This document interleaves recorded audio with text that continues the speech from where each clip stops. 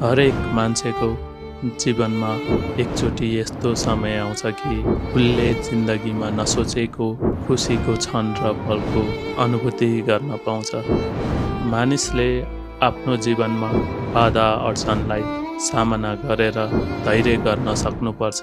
ढिलो चाँडो अवश्य पनि खुसीका दिनहरू आउनेछन्। हो म कुरा गर्दैछु पक्का उर्फ प्रकाश तामाङको। हेर्ने कथामा हराएका वर्षहरूको प्रमुख पात्र। थाहा छ सोसियल मिडियामा भाइरल भएका प्रकाशको जीवनमा के के परिवर्तन भयो?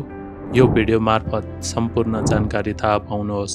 नम्बर एक सर्वप्रथम त खुसीको खबर प्रकाश गोर्खाको चुङ भ्यालीबाट विदा भएर उनकै घर भोजपुर फर्केका छन्।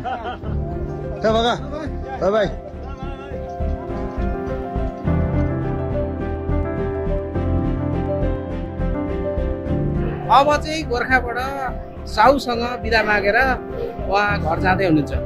तपाईँलाई? ल ठिक छ। म तपाईँ एकदम यो हेरिहाल्नुहोस् न।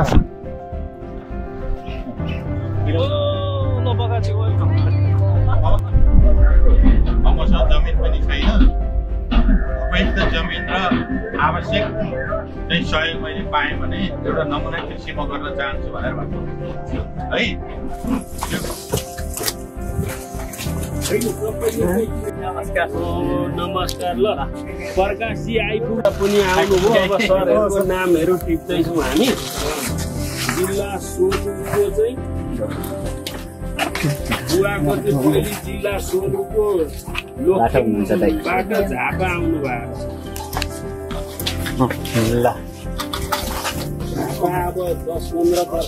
खुसी एकदम एकदम अब लिनु हुनुपर्छ है अब कता कता लगेर हुन्छ मालिस गरेर हुन्छ कि तेल जडीबुटी नम्बर दुई प्रकाशका साउले दस लाख र चुम्नुप्रे गाउँपालिकाले एक लाख दिने भएको छ प्रकाशका साउ भन्छन् प्रकाशको खाता खोलेपछि दस लाख पठाउने प्रतिबद्धता गरेको छु।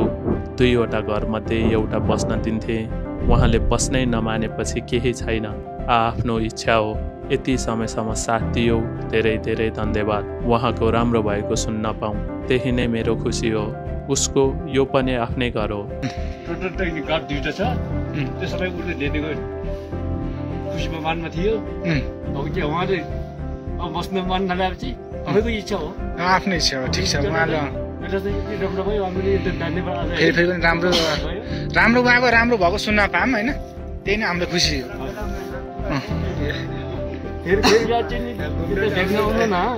भेट्न आउन सकिन्छ आफ्नै घर हो होइन?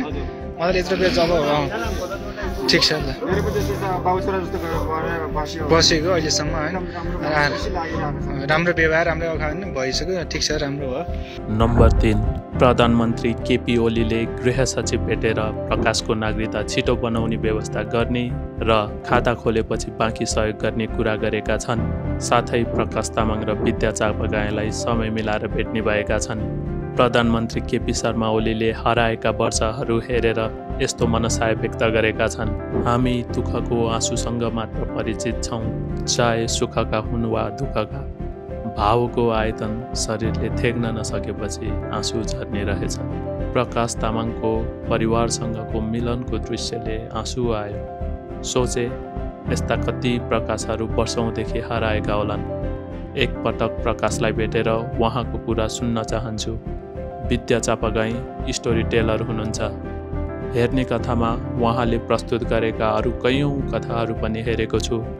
विद्या चापागाईसँग पनि भेटेर यस विषयमा कुरा गर्नेछु।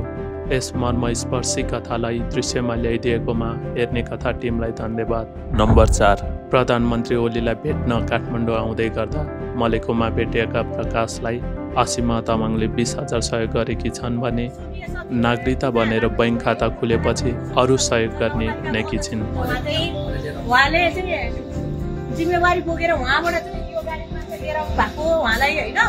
दाइलाई चाहिँ धेरै धेरै शुभकामना अब बिहे गर्नुपर्छ।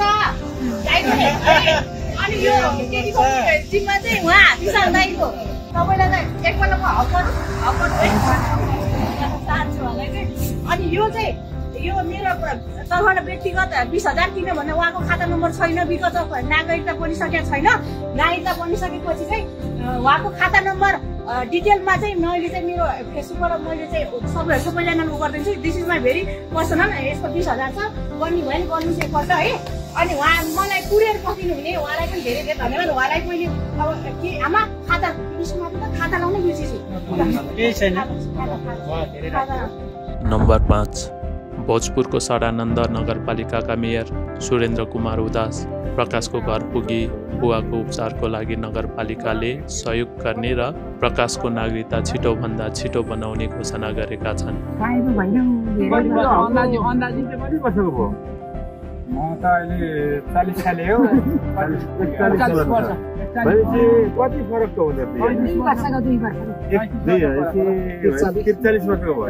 म यहाँ सडान्द नगरपालिका तपाईँको बुवा आमा बसेको ठाउँको मेयर बोल्दैछु सुरेन्द्र उदास नमस्ते तपाईँको चाहिँ यो हेर्ने कथामा हामीले भिडियो हेऱ्यौँ त्योभन्दा पहिला हामीले थाहा थिएन होइन बुवासँग आमासँग त हाम्रो राम्रो चिन्जान थियो तर अब छोरा हराएको यस्तो यस्तो कुरा त केही पनि हामीले भन्नु भएको थिएन। अहिले हामीलाई पनि खुसी लाग्यो। तपाईँ दिवस फेला पर्नुभयो तपाईँ आउनु भएपछि आउनुभन्दा अगाडि कुन दिन आइपुग्नुहुन्छ त्यो खबर गर्नुभयो भने तपाईँले यहाँ सिडो साहबलाई नै यही ल्याएर तपाईँलाई घरमै ल्याएर त दिने भन्ने योजना छ हाम्रो। अनि भनेपछि अरू यतै गाउँतिरै बस्नुपर्छ अब। घरसर बनाएर। नम्बर छ हेर्ने कथाको हराएका वर्ष मार्फत पैँतिस वर्षपछि परिवार भेटेका प्रकाश तामाङ कालेलाई भोजपुरका सांसद सुदन किराँतीले आफ्नै संयोजकत्वमा माओवादीको तर्फबाट श्रमदान गरेर एउटा घर एउटा शौचालय केही लत्ता कपडा र छ महिना खाने घाँस बाँस र कपास जस्ता आधारभूत कुरा पहिलो चरणमा बन्दोबस्त गर्ने निर्णय गरेका छन्। नम्बर सात समाजसेवी ईसा गुरुङले महावीर पुनको कारखानामा रोजगारको अवसर दिनका साथै व्यक्तिगत सहयोग स्वरूप एक लाख दिने भएका छन्। नम्बर आठ कोशी प्रदेशका मुख्यमन्त्री हिक्मत कुमार कार्की सरकारले कृषि र पशुपालन व्यवसाय गर्न चाहेमा सहयोग गर्ने घोषणा गरेका छन्। नम्बर नौ दुर्गा प्रसाईले प्रकाश तामाङलाई आर्थिक सहयोगसँगै जागिर दिने भएका छन्। म पनि हालिदिन्छु खाता खोल्दै भनेदेखि म पनि सहयोग गर्छु। तर म प्रधानमन्त्रीलाई के भन्छु भने- होइन मैले गर्छु। मैले म खुसी नै गर्ने हुने गरी गरिदिन्छु रोजगारी दिनुहुन्छ? होइन म त रोजगारी जहिले पनि म त आयो भने रोजगारी दिन्छु। व्यवसाय सफल व्यवसाय। तपाईँको घरमा यदि प्रकाशले जागिर खोज्न आयो भने अब उनलाई त जागिरको आवश्यकता छ उनी माथि हिमालबाट तल झऱ्यो भने। घरमा आयो भने जागिरको आवश्यकता छ घर परिवारको त्यस्तो बिजोक अवस्था छ। तपाईँले जागिर दिनुहुन्छ उनलाई? कस्तो? दिन्छु दिन्छु। होइन उसले उनको हैसियत अनुसारको जागिर पाइहाल्छ। नि अब उसले मेरो अब मेडिकल कलेज हो हस्पिटल हो क्यान्सर हस्पिटल छ होटेल छ उनले गर्न सक्ने दिन मैले दिन्छु। नम्बर दस हेर्ने कथाको को फाउन्डर विद्या चपगाईको फेसबुकमा एक मिलियन फलोवर पुगेको छ। And she deserves many more. Big respect to Vidya Chapagai दिदी अझै धेरै मायाको शुभकामना। प्रकाश तामाङको यो सबै गुड न्युज सुनेर कत्तिको खुसी हुनुहुन्छ? तल कमेन्ट गरेर आफ्नो मनसाय व्यक्त गरिदिनु होला अझै जानकारीमूलक भिडियोको लागि यो स्यान्डी क्रिएसन युट्युब च्यानललाई सब्सक्राइब पनि गरिदिनु होला धन्यवाद।